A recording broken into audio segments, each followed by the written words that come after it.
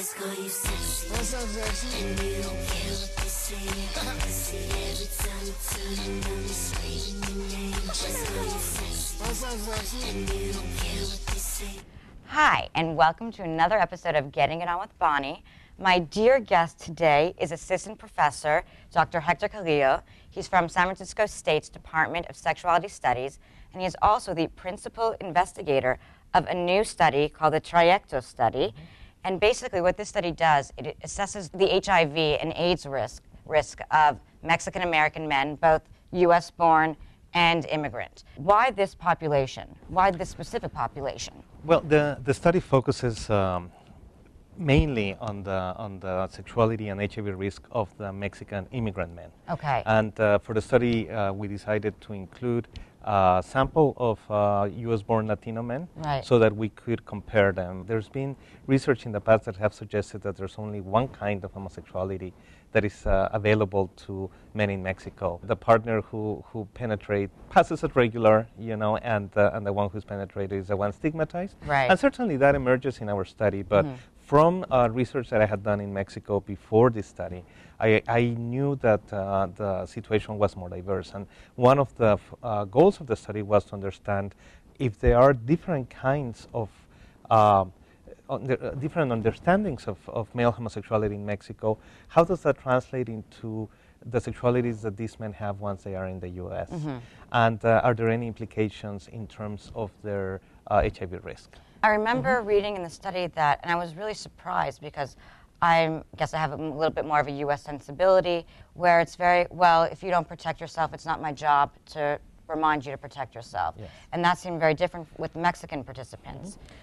I think that reflects the uh, particular cultural scripts around collectivity and differences between individuality and collectivity, in the sense that uh, the, some of the Mexican participants have very assimilated uh, notions that uh, the sexual partners must protect each other. Now, imagine what happens in a situation where one sexual partner is thinking, of course, if there was something you know that he had to tell me or or if uh, there was an issue in relation to HIV he would tell me he would protect me while the other partner partner may be thinking uh, well if he's not asking for condoms or not mentioning anything about it it probably means that you know he has made his decision it's his own personal decision. So the contrast between collectivity and individuality in terms of the discourse was very very interesting. The other important finding has to do with understanding that the immigrant population is not homogenous, that there's quite a variation, and so in trying to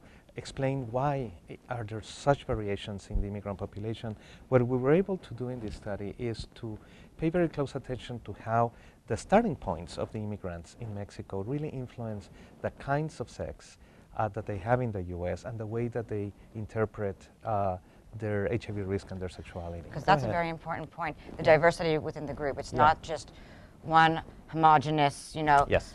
Group of men. There's a lot of diversity. And I was wondering if you could speak a little bit more to that. Well, once you begin to, I mean, it, it relates to things that Because we there's so many stereotypes, about. especially yeah. in the U.S. Oh, the Mexican immigrant all the worker, same, yeah. everybody's the exact Yeah. same. I think that really does just add to the problem in Yes. general. Well, you have to pay attention to whether immigrants came from urban or Mm-hmm. rural areas, from large cities versus small cities, um, whether what their sort of social class position was, their levels of education, and, and all of that influences their, their experiences before migration, which makes for also very different ways of becoming integrated into Mm-hmm. U.S. society. All of that needs to be taken into account, and in fact, programs that have paid attention to these issues have been successful at building from the ground up strategies that immigrants themselves, you know, develop. And so when these men do come into the U.S., the men in your study, they were in San Diego, in the Hillcrest area, Mm-hmm. which is a predominantly gay neighborhood. Am I? Eh, well, it's a, it's a mixed neighborhood, but it's considered to be the gay area of San Diego. the gay area yeah. of San Diego. There we go. My faux pas. No, no, no, no. So when when these men came in, were they were they happy? Was it what they expected? Mm-hmm. Was it new to them? Can you tell me a little bit about their first experiences in the neighborhood? Well, one thing that is interesting, and this is where the, the, differences in terms of where they started really begin Mm-hmm. to show, is that for some of them who came from large cities in Mexico who were very attuned to the internet or, or to the sort of global networks of gay Mm-hmm. men, they often had gay friends already in San Diego. And uh, So they got they were taken out of the town. That was pretty easy. You well, I mean, some of them in. arrived directly into Yeah. Hillcrest, you know, soon after arriving, and they became incorporated into the gay community there. Now, some others uh, didn't know about the existence of gay neighborhoods in the U.S. There was actually uh, one man in the study, and I remember reading a quote Yes. from him where he was saying he was looking for Hillcrest and he was Right. walking for hours and hours. Yeah, that's an interesting, uh, an interesting case of someone who only learned that there was a gay neighborhood when he overheard uh, coworkers talking about this area, and he sort of perked up and you know wanted to sort of figure out where this was, and uh, eventually he just walked, you know, like 40 something blocks to get there. Once he got there, he didn't see anything that told him this is a gay area, and as he was leaving, he saw some guys holding hands, and he said, "Okay, it's here." I've arrived. yes, I've arrived. And so, what is interesting is also to think about how the differences among the immigrant men had to do with things like that. You know, how much they knew about um, gay neighborhoods, about gay life in Mhm. the U.S., about uh, the particular cultural patterns of uh, of male homosexuality, and the more they knew, that ra- more rapidly. Uh, that they integrated into Mhm. the into the gay community. The less they knew, the longer that it took them. so speaking of this newness to a new culture, to a new city, to a new area, how does that work in conjunction with their HIV risk? Well, what, uh, what uh, all of this has demonstrated and confirmed is something that we've known for a while, which is that the social context really influences HIV risk, that it really influences the kind of sexual behaviors that people have.